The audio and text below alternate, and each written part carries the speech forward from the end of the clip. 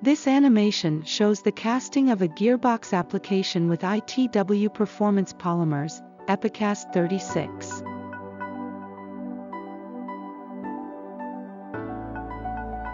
After the gearbox has been aligned, the foundation surfaces are prepared and provided with formwork.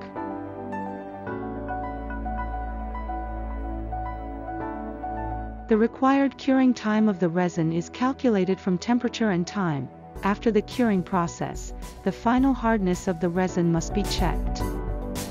Epocast 36 was developed as a full replacement for steel chocks. This saves costs and work steps.